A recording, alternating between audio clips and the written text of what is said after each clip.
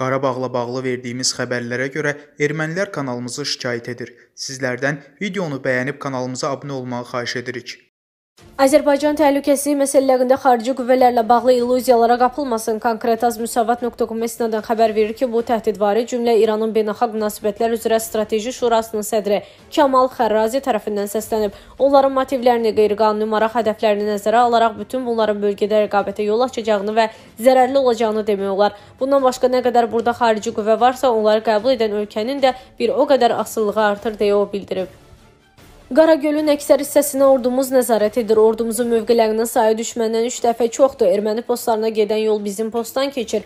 Konkret az xəbər verir ki, bunu hərbi ekspert Ədalət Verdiyev deyib. Hərbi ekspert bildirib ki, ermənilər öz postlarına getmək üçün bizim postdan yoxlanılıb keçirlər. Bizim postların arasında ermənilərin bir yetim postu mövcuddur. Ermənilər bizim posta yoxlanılaraq həmin posta buraxılır. Onlara ancaq avtomat silah daşımağa icazə verilir. Erməni postunda düşmən ölkənin bayrağının qaldırılmasına icazə verilmir. Təhlükəsizlik baxımından şəkili yerləşdirmirəm.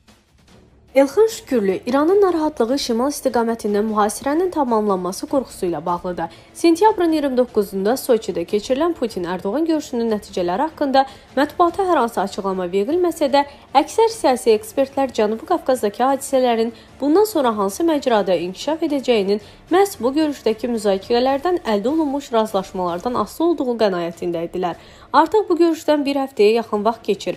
Bəs gözləntilər özünü doğrultdumu? Azpolitiko Info bu görüş və onun regiona mümkün təsirləri haqqında Ədalət Partiyası sədrinin siyasi məsələlər üzrə müavini Elxan Şükürlü ilə söhbətləşib. Həmin müsahibəni təqdim edirik. Elxan bəy, Ərdoğan-Putin görüşünün nəticəsindən asılı olaraq regionda ya böyük savaşın, ya da böyük barışın təməllərinin atılacağını demişdiniz. Geniş informasiya olmasa da, görüşdən keçən bir həftəyə yaxın müddətdə baş verənlər hadisələrin axarını müəyyənləşdirmə imkanı verirmi? Görüş vaxtının özü eləcə də hər iki prezidentin davranışları ictimaiyyət üçün ifadə etdikləri bir neçə cümlə artıq ilkin təhlil üçün yetərlidir. Əvvəla nəzərə almaq lazımdır ki, bu görüş son 18 ay ərzində hər iki liderin bağlı qapılar arxasında üzbəüz ikilikdə telefonla danışa bilmədiklərinin də açıq müzakirə ediləcəyi ilk görüş idi. Sonuncu dəfə onlar 2020-ci ilin 5 martında Moskvada görüşmüşdülər və iki liderin görüşü 6 saat çəkmişdi. 2020-ci ilin martından ötən bu 18 ay ərzində isə nəinki bizim yerləşdiyimiz Cənubi Qafqaz regionunda, bütövlükdə dünyada, həmçinin Türkiyə və Rusiyanın maraq və mənafelərinin toqquşduğu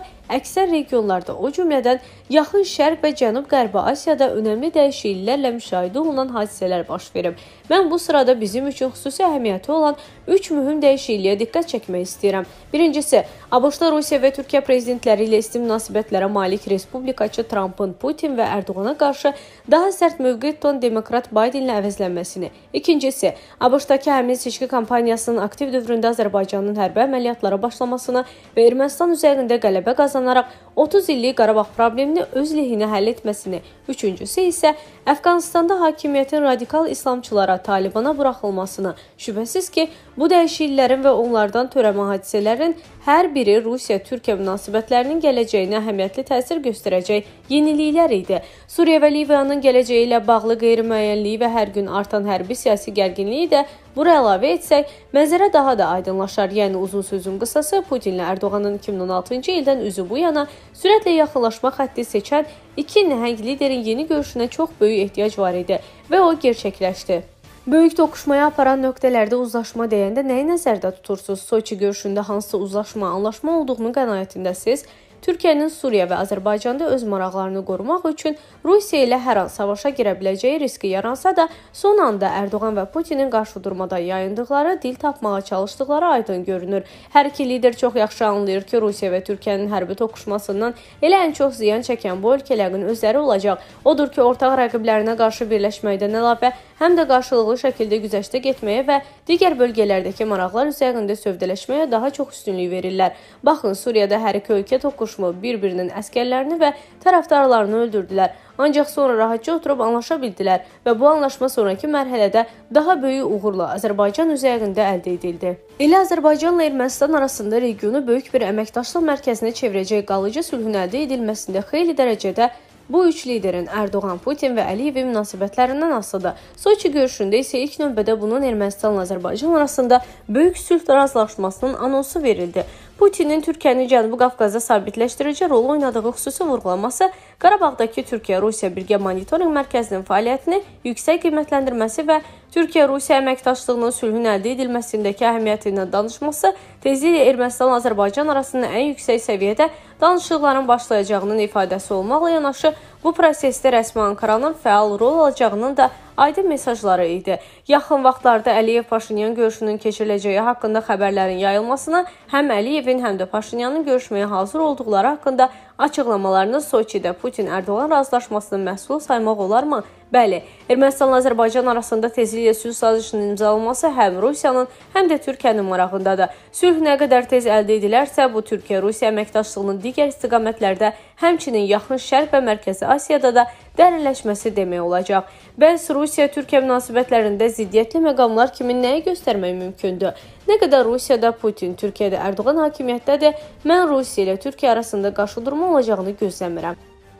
İran həm haqsızdır, həm də təcavüzkar formada davranır. Azərbaycan İrana qarşı heç bir şey etməyib. İranın nədən narahat olduğu, ancaq İsraillə Azərbaycanın təzyiq göstərməyə çalışdığı bəllidir. Bunu Axaraza açıqlamasında Türkiyənin terror və təhlükəsizlik üzrə eksperti Abdullah Ağar deyib. Onun sözlərinə görə İranın narahatçılığının atdığı addımların bir neçə səbəbi var. İran yəqin ki, Türkiyənin Pakistan və Azərbaycanla ittifaqı inkişaf etdirməsindən narahatdır. Başqa bir önəmli məqam odur ki, Türkiyə ilə Azərbaycanın gerçəkləşdirdikləri əməkdaşlıq İranın başda yaxın şərq coğrafiyası olmaqla bütün İslam dünyasında həyata keçirdiyi metodologiyanı, yəni istifadə etdiyi teoloji nəzəriyyə və taktikanı pozacaq.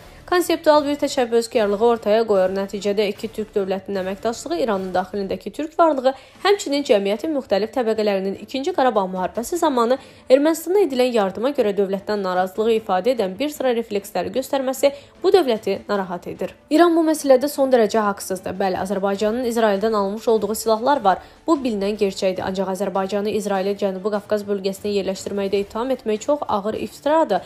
İran bu məsələ üzərindən özünə görə səbəblər ortaya çıxarmağa çalışır, ancaq etdikləri böyük haqsızlıq və yanlışdır. İran öz əməlləri ilə Azərbaycanın milli iradəsinə, haqq savaşına, haqqa, haqlılığa həqarət edir. Bu İrana yaraşmır. İranın daha ağıllı, birləşdirici olması bu yöndə qərarlar verməsi lazımdır. İran Azərbaycanın zəfərindən narahat olmasın. Azərbaycanın İran torpağında gözü yoxdur. İrandakı vəziyyətin qeyri-sabit olmasını istəmir, amma İran öz etdiklərindən qorxularından qorxa bilər. Buna da haqqı var. İran Azərbaycanı iştahından keçirməsin. Azərbaycan onun iştahı üçün böyükdür. O qədər dəliqanlıdsa getsin əməkdaşlıq etdiyi düşmənlərinə cavab versin. 2006-cı ildə Artur Tovmasyan Qarabağ məsələsində neft faktorunun rolu mövzusunda dəyirmi masa keçirirdi. Dəfələrlə demişdim.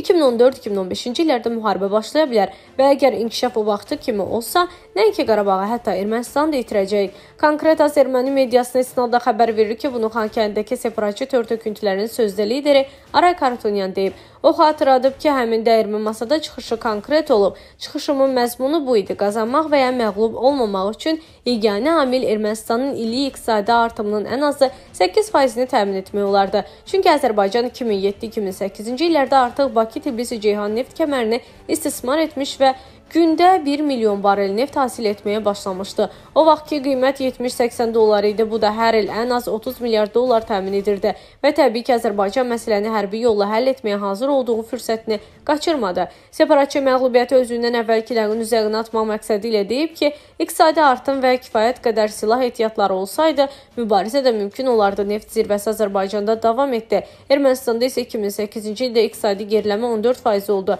Daha sonra artım ən yaxşı halda 4-5 5% idi. 2016-cı il bizim üçün bir xəbərdarlıq oldu. Biz dünyaya qarşı mübarizə apardıq. Dünya gözləyirdi, hamı bu nəticələri gözləyirdi. Çünki 2015-ci ildən sonra təzyiq göstərərək problemi məlum bir variantla həll etməyə çalışırdılar.